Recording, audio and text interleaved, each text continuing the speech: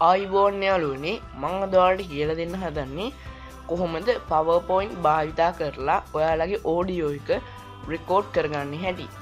තින් මම දැන් පවපොයින්් ඕපන් කරගන්න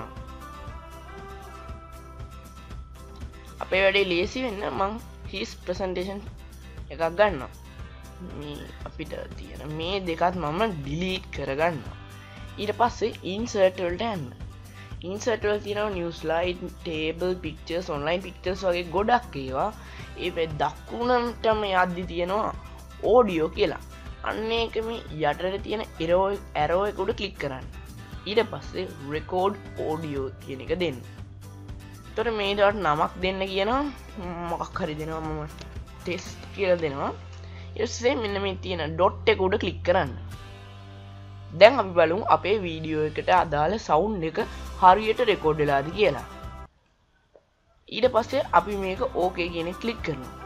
එතෝට මෙන්න මෙතනවට පේෙන සවුන් ස්පීක එක හැඩ එක ඉමේජ් එකත් තියෙනවා. ඒ ගාඩ කර්සරෙක් ගෙනනිච්චා මේ විදිහට යටින් පුංචි බාහ එකක් කෙනවා ඒක අගටම ගියම් තියෙන ප්ලේ කියලා. අන්නෙකුට කලික් කරනවා දැන් අපි බලුම් අපේ වීඩියෝ එකට අදාළ සවුන්් එක ඔයාට ඇහෙන් ඇති ඒක ගොඩක් සාර්ථකව රෙකෝඩ්ඩලා තියෙනවා. ඊට පස්සේ දැම් මේක ප්‍රසන්ටේෂන් එක විතරක් කරන්නන හින්දා අපිට ඔන්න එක වීඩියෝ එකකට ජොයින් කරන්න හිද ඕඩියෝ එකක් ඕන හින්දා ඒකුට රයිකලික් කරලා සේව් මීඩිය ඇස් කියන උඩ කලික් කරන්න. ඊට පස්සවාට තැනත් දෙන්න. මේකට නමක් දෙනවා.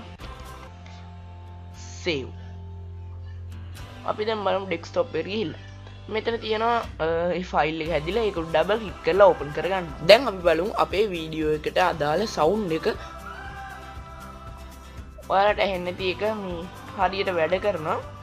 එහින්න මේ ගොඩක් කොලිටිවලට වෙනත් සොෆ්ටය එකක් භාවිතා කරන්නතුව ඔයාට ගොඩක් ඉක්මනින් ඔයාලගේ වැඩ ටික්කාට ටික් කරගන්න පුළුවන්.